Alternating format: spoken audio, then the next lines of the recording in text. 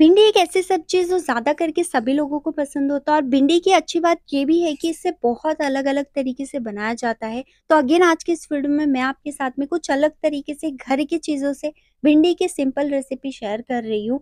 इसके लिए आप देखिए सबसे पहले आपको भिंडी आइडेंटिफ़ाई करना है जो कि इस तरीके से बहुत ईज़िली टूट जाए, नरम भी हो और साइज़ इसकी छोटी हो। ओवरऑल फ्रेश भिंडी का यूज़ करना है।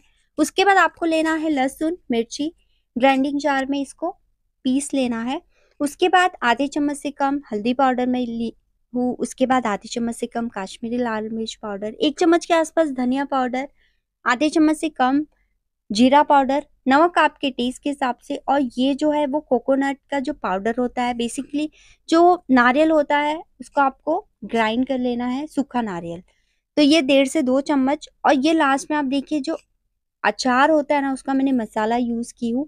आप चाट मसाले का यूज़ कर सकते हो और आप यहाँ पर थोड़ा-सा आप ऑयल का भी यूज़ कर सकते हो। अचार के अंदर ऑलरेडी ऑयल था, इसलिए मैंने यहाँ पर ऑयल का यूज़ नहीं किया है।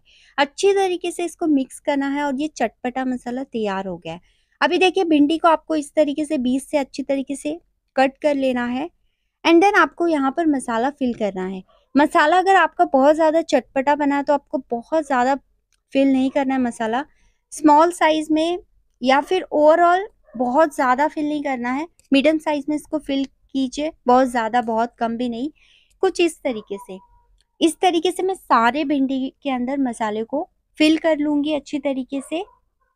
जैसे ये अच्छी तरीके से फिल हो जाएगा, अभी आप देखिए, मैंने सारे मसाले को इसमें फिल कर दिया है।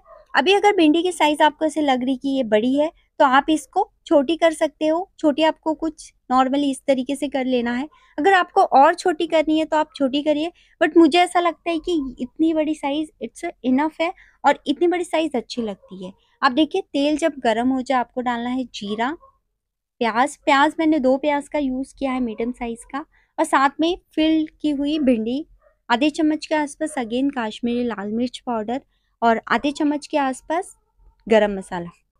अच्छी तरीके से अभी आपको क्या करना है, इसको भूनना है। गैस का फ्लेम आपको रखना है मीडियम टू लो पे और अच्छी तरीके से आप इसे बीच में चलाते रहिए और भूनते रहिए। यहाँ पर आप कम ज़्यादा ऑयल का यूज़ कर सकते हो एज पर योर प्रेफरेंस अभी आप देखिए, इसको मैंने ढक दिया है। बीच बीच में अभी आप देखिए, पाँच से सात मिनट हुआ है, मैंने इसको बीच बीच में चलाते रही हूँ और ऑलमोस्ट आप देखिए, ये कुक हो गया है एट्टी परसेंट तक। बट मुझे ऐसा लग रहा है कि मसाला थोड़ा सा और भूनना चाहिए।